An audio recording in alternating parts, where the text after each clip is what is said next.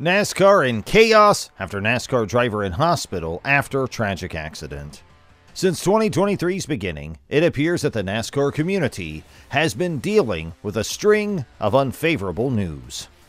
The past couple of weeks have been trying, whether it was because of Ken Block's snowmobile tragedy or Robert Pierce's passing.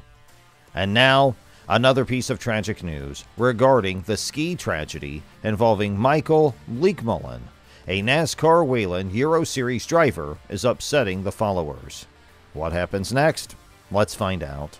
Hello, NASCAR fam, and welcome back to NASCAR Live. But before we begin, subscribe to our channel and please hit the like button. And let's begin. Bleekemolen suffered injuries in a skiing mishap on the slopes, according to the reports provided by Race Planet. The former Formula One driver, who is currently being treated in an Austrian hospital, lost consciousness for more than 30 minutes as a result of the accident. To get to the hospital, a helicopter was needed to transport the 73 year old driver.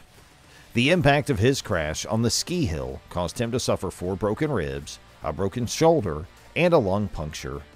Grand Prix Radio tweeted Michael Bleekemolen is in hospital in Austria in response to the sad accident involving the Dutch driver.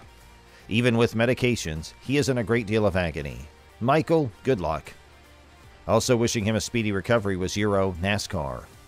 This accident, which was the second of its kind this month, mercifully did not result in death like the one that involved Ken Block earlier in the month. The NASCAR community laments the passing of Ken Block. The heartbreaking news of American rally racer Ken Block's accident made headlines earlier this month. The well known driver and YouTuber was killed after a snowmobile landed on top of him in Wasatch County, Utah, due to a steep slope. Block was driving through the slope in Utah when he was struck by the vehicle and pronounced deceased at the scene. Block was on his own when the accident occurred, according to information provided by the neighborhood sheriff's office. According to Autosport, the sheriff's office issued the following statement in response to the accident.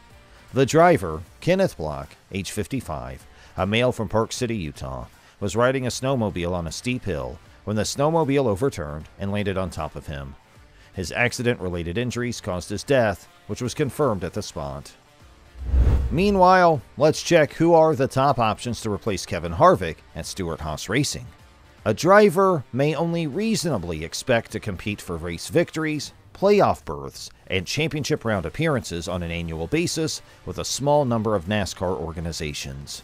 In the event that such a chance arises, one that could change one's career, that ride becomes sought after due to the opportunities it presents. One of those premier companies is Stewart Haas Racing.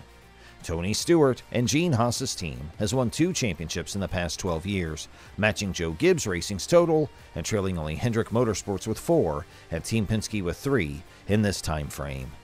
And now that Kevin Harvick has announced last week that he will retire after the 2023 season, SHR's number 4 vehicle needs a driver to replace the vacant seat. But unlike most times when a team of the caliber of SHR has an opening, the field of potential replacements for Harvick doesn't seem to be as extensive as it often would be. While Kyle Busch and Tyler Reddick secured multi year contracts with new organizations, Kyle Larson, William Byron, Christopher Bell, Erik Jones, Ryan Blaney, and Joey Logano all extended their contracts with their respective teams throughout the last year. Every single one of the aforementioned eight drivers would have been a deserving replacement for Harvick, giving SHR a driver with the skill to routinely contend for victories and championships. Furthermore, it seems to make sense that SHR would have been interested in hiring one of them to operate the number 4 had Harvick not hinted in January that 2022 would be his final race. Sadly, SHR is now faced with a limited selection of choices and the real possibility that it won't be able to find an A tier replacement. What course does SHR take in light of the existing situation then? Well, the list of potential replacements looks very different from where it would have a year ago. The consensus is that strong possibilities still exist. The Athletic spoke to numerous experts within the NASCAR industry to determine who should be regarded as a realistic candidate. Ross Chastain's name came up the most. As his contract with Trackhouse Racing enters its final year, the renowned driver, one person called him a home run hire that would give SHR little drop off on the performance side. Uh, aiding his candidacy is the fact that he has a personality that appeals to sponsors, a potentially crucial element, as it's unclear whether Harvick's longtime main sponsor, Anheuser-Busch, will continue its support or also depart. By winning two races and coming in second overall in 2022, Chastain showed what he is capable of when a team is behind him. But the real question is whether SHR is a sufficient improvement over Trackhouse to persuade the devoted Chastain to leave the group that gave him his big break. It's difficult to imagine Chastain letting go of his relationship with team owner Justin Marks in favor of one with an unknown organization where he might not fit as well. Despite being in the first year of a multi year contract with the Legacy Motor Club that has undergone a name change, Jones was the second most frequently mentioned candidate. Jones's potential is undeniable, as seen by his two Southern 500 victories. He is capable of serving as a cornerstone around whom SHR can expand for the foreseeable future, and he is only 26 years old. A challenge, but not an impossible one, is posed by Jones's contract with Legacy. Contract buyouts are possible and do occur, as was the case last year when Reddick's contract with Richard Childress Racing was untangled by 2311 Racing for the last year of his deal. After all, this would require the desire of both Jones and SHR, and nothing is definite in this regard. What would be different this time around, since SHR previously had two chances to sign Jones but declined on both occasions? And after a difficult ending at the comparably large JGR, would Jones, who has made a home at Legacy where he has been seen as the main guy, want to once more experience life at a four car behemoth? The choices are far less clear after you move past Chastain and Jones. With their respective teams, Hendrick and Trackhouse, Alex Bowman and Daniel Suarez have contracts that are coming to an end. However, it doesn't seem likely that they will escape their predicament. Suarez, who competed for SHR in 2019, is content at Trackhouse, while Hendrick and sponsor Ally are pleased with Bowman. Even though anything can happen, a lot would have to unexpectedly alter for either to happen. Cole Custer or Riley Herbst, who both participate in the team's Xfinity Series program, could always be chosen by SHR if they wanted to stay in house. To re-establish himself, Custer needs a dominant season in Xfinity after three Cup seasons in which he mainly underperformed. Herbst has made 109 Xfinity starts in his career, but has never recorded a victory. His inclusion on SHR's roster is based more on his financial contribution than his performance. Zane Smith, the current champion of the Truck Series, is another driver to keep an eye on in the lesser categories. As Ford supported SHR goes through this process, it is impossible to deny the fact that he is a part of the Ford program. The 23 year old is praised for having a fluid driving style that doesn't encourage overdriving, which is a quality you don't often see in young drivers. He is seen as a top prospect. A year or two long stopgap might be in place if SHR is unable to find a long term solution. Michael McDowell's a name that comes up frequently while describing this situation. With little resources, the veteran has accomplished a lot with Front Row Motorsports, winning the Daytona 500 in 2021 and setting records in top 10 finishes, laps led, average starting position, and average finishing position the previous year. He would probably perform admirably on a dominant squad, and SHR could do much worse than having McDowell act as a link. Moreover, it is a very real risk that SHR will choose a candidate who is not on this board and is unanticipated. After all, what were the chances that Kyle Busch wouldn't re-sign with JGR and join the team who is controlled by the person who hit him once upon a time? Yet that improbability has come to pass. Who will be driving the SHR number 4 vehicle in 2024 will undoubtedly be the main plot until a choice is made, regardless of the course Stewart and Haas take.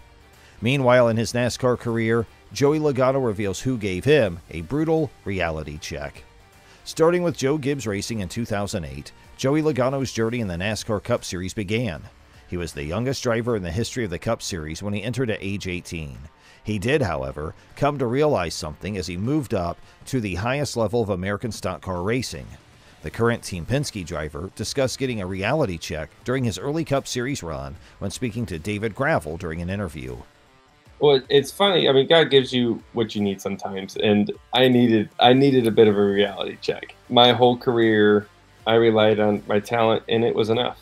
I mean, that's the bottom line. It was it was good enough to go out there and win races. I was the youngest everything growing up. Winning everything. Like, all right, well, I must be pretty freaking good, right? And I started drinking my own Kool Aid, right? Like I was, I was believing every bit of it until I got to the level that everybody was good, and they were, and these people worked hard and they were experienced, and and that was the reality check of like, uh oh, like the guys I used to make fun of on Sundays because they were running 35th or laying black marks off the corner, right? They're just laying two rear tires, smoking them off the corner in front of me, driving away from me in less of a car than I was in. And I was like, oh, I suck. Right? Like, yeah. That's kind of what came down. I was like, I'm not good. It got to the point of where, like, you don't know what you don't know. You got to first figure out where, where you're off. Yeah. And it was everywhere, right? So, like, it's like trying to figure out, okay, how do I make speed at wore out surface racetracks? How do I get better at mile and a half? How do I work on my short track stuff? How did my road course stuff get better? Like, and it was how do I, you know, work on how the, the race plays out and the strategy of it and what I'm going to need from practice to the race and all these things that I never thought of. Like I literally just got in the car and drove and I was, I could win. That was it. I never thought about all the details of what makes a great race car driver. And, and that's, I needed that, right? Because that brought the, the cocky, arrogant, young Joey Logano that knew everything back to reality. And that feeling I, I always remember, and it's what drives me today, right? That that feeling of failure, being that close, and getting beat, and realizing that I'm not that good, uh, is what I needed, right? And I remember today. So to this day, I still don't think I'm that good. So I have to outwork everybody. Like that's that's what I feel like I have to do. I have to be out and be a smarter race car driver than my competitors. Somehow, one way or another, I have to find that as my strength because my talent, yeah, it's decent. I think I'm, I'm quick. I could do that stuff, but I feel like I'm the smartest driver out there, and and that's because I put the work in to do that, and I wasn't at first, and because I figured that I, like I said, it was good enough when I was young. It's just not anymore. And that ends today's episode. We sincerely hope you enjoyed the video. Don't forget to subscribe to our YouTube channel to see even more of our incredible videos.